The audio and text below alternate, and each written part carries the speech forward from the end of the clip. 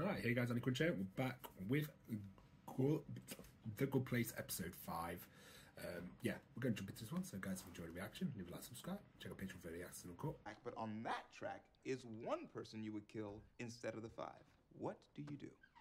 Do we know anything? Any of the workers Most people Okay, don't do anything, don't they, Just in this test? Kill one person instead. to do it. But that's not the same thing.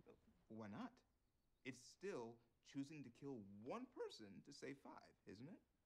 Michael, you've been kind of quiet.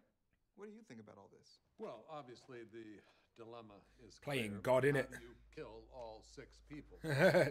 Here we go. Sharp blade out the window to slice the neck of the guy on the other track. As That's much better. Okay, I like that. Oh, he's more did the- uh, he's morally correct. Yep. Ten more, buddy. people good. People good. Why is that so hard to remember? people.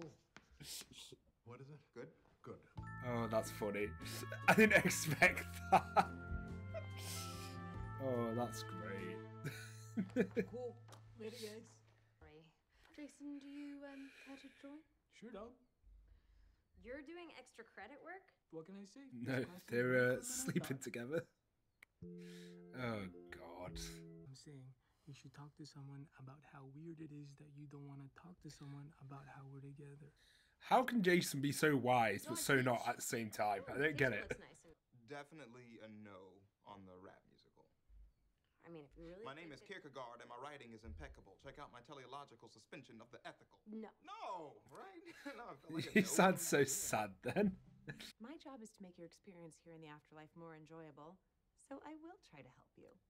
I am going to need some time to read every book ever written about human psychotherapy. And now I've done that, so let's begin. I was gonna say, Have a seat. I was gonna say, surely Janet already Hi, knows I'm your everything. therapist, Janet. Oh my God. I just want to have a little That's chat about your amazing. progress In the last that if you steal a loaf of bread, it's a negative 17 points. 20 if it's a baguette, because that makes you more French. Sure, but philosophy uh, is about questioning things that you take for granted, and I just don't think that you're doing that. I mean, Totally I fair, just I don't agree. know that Victor Hugo is in the. I have to control everything and that he has no voice in this relationship. Right, Jason? Good. Now, where were we? Just Yeah. that. Yeah. the little nod from Janet was great. Don't. Concrete approach. Here, let, let's try this. Oh, no. Oh, Michael, Oh no. I made the trolley problem. I love how they're making an episode to about see the how trolley ethics problem. Tricky. I mean, on the one hand, if you ascribe to a purely utilitarian worldview, What what I look what what I honestly love about that is that we know that he can't make a decision, so you know he had no way. With this, how would I do the trolley problem? Trolley problem. Odds are I probably freeze up. I would most like if you had no choice. I'd, if I had to pick one, I'd probably run over the one instead of the five. Therefore, I am an active rolling this, and I have murdered someone. So, if I would fully agree that I probably should go prison just because I, I made the decision to kill someone to save five people, but I still killed someone, if you know what I mean. Whereas I guess if I just let it go, I am morally I had a choice to save five people.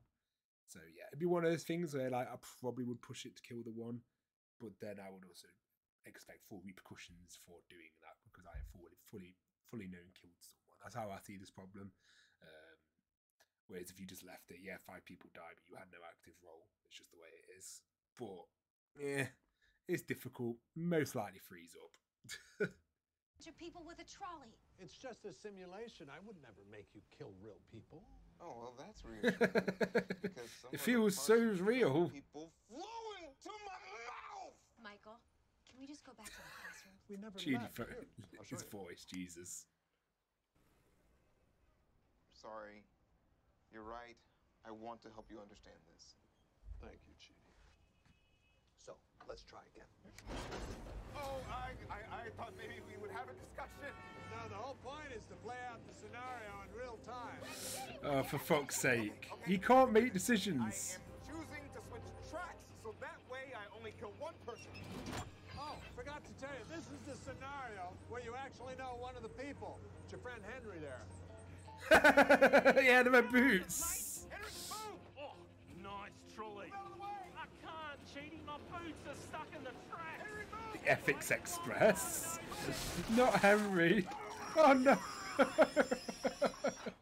Again, just a simulation. That's so bad. That's scoring. Simulation. As it were. How would you feel about giving Jason and me couples therapy? I'd feel great. What the fuck?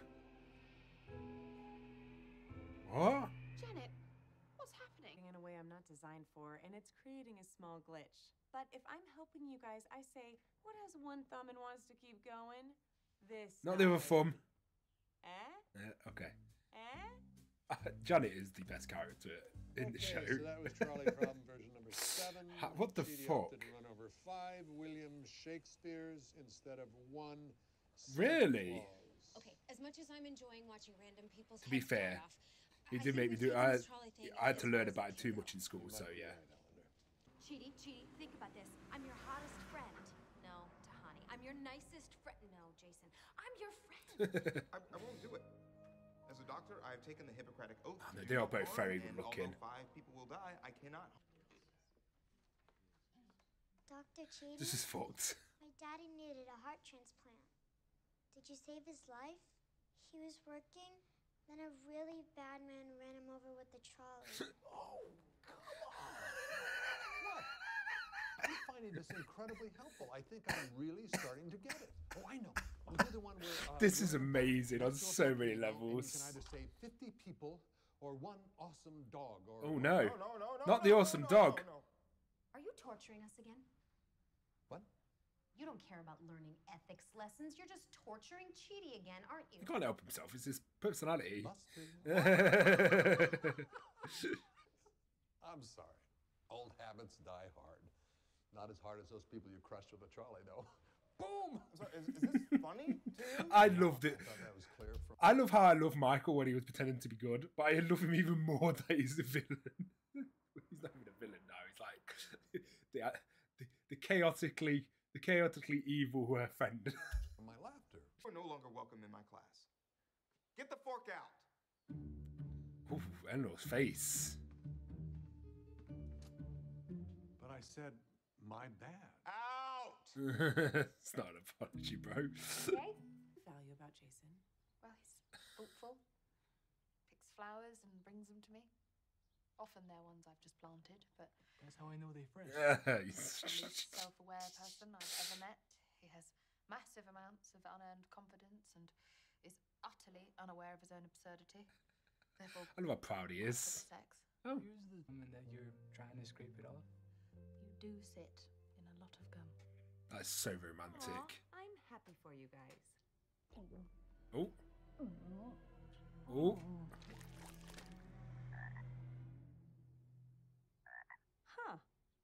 Look, I Sure, don't know have fun if. If Chidi can't take a joke, that's on him. Just like all that blood was. Hey. I can't high-five that. I can. No matter how badly I I really want want to high five Look, that. I'm high is fiving that for you, bro. Chidi, not pulling an Eleanor. Posting my cousin's credit card number on Reddit because she said I looked tired.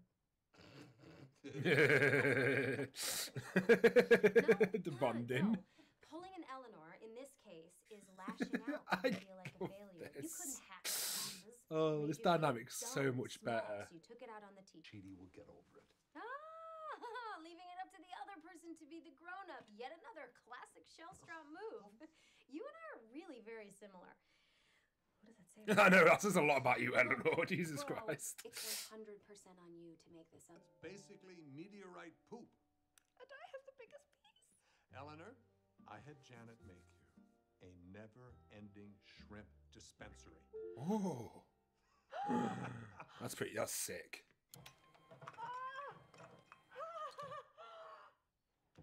This is the dream. It is? Yeah. Jason, here you go. I think that's pretty cool. Pikachu. What? It's Pikachu. That he's so easily. Oh man. Has ever seen this, except for you. What the guy who read it? He did it. He read it. Whoa. This isn't an apology. It's a bribe, and I'm not interested. Yeah, we can't be bought. What do you want from me, man? You want me to give you a, a golden nameplate for your office? What do you want You from me, want a man? I can't. I love No. Michael so much. And this will be I don't need anything. worthless. Oh, oh, okay. Um, I get it. I get it. You want me to admit that I was wrong. You want me to say, oh, Chidi, I'm so sorry because I didn't understand human ethics and you do. It made me feel insecure and I lashed out. And oh, please help me Okay. because I feel so, so lost and vulnerable. Yeah. Yes. His face there. Oh, Chidi. This is my favourite character arc.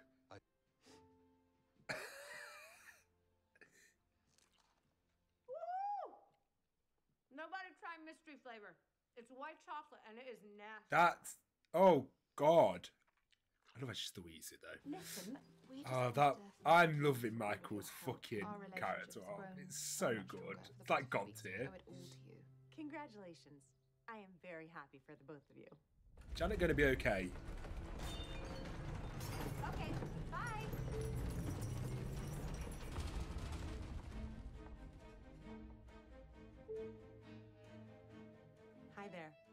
What's happening? She- What's wrong? Full saint I wrong.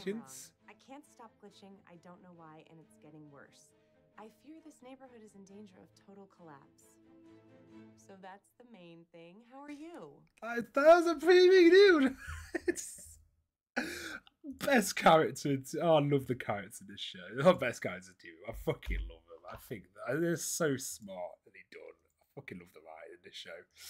Writing is clever. Great episode of The Good Place. I, I just love Michael's character arc they're doing with him. I think it's such a genius idea. Have literally a guy who tortures people for eternity, trying to make him into, to learn ethics was amazing. I love how they made the whole trolley thing an episode. I love how they got a storyline with Janet doing something she shouldn't. No, doing something Janet shouldn't, and then glitching out, um, causing a big problem over time, which was interesting. Also looking at Tahani's and uh, Jason's relationship, that was a lot of fun as well. Absolutely fantastic episode. I just think the the writing in this show is really really good. Um, Ryan puts uh, the funny thing is Michael knows everything that happens in Animal Life, so probably remembers the toothbrush holder incident too.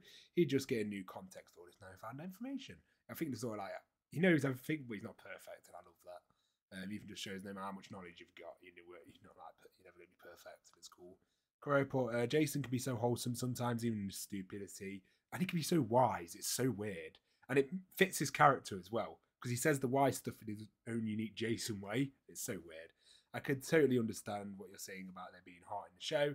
It's like a totally unique, lovely, lovely vibe to the show. It's such a lovely. I don't know. the something about this show. The writers really care, and you can really tell. But I hope you guys enjoyed the reaction. Leave a like, subscribe,